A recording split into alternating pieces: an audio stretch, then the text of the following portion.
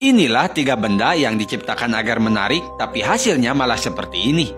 Yang pertama nih, charger Pikachu.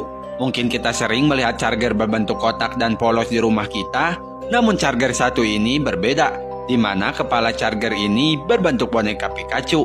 Yang bikin aneh ialah lubang port charger Pikachu ini tepat berada di bagian bokong Pikachu. Yang kedua nih, tempat minum. Tempat minum ini mungkin terlihat aneh dan unik, Tempat minum berbentuk Basilager ini terlihat keren saat kita lihat dari arah sisi botol tersebut.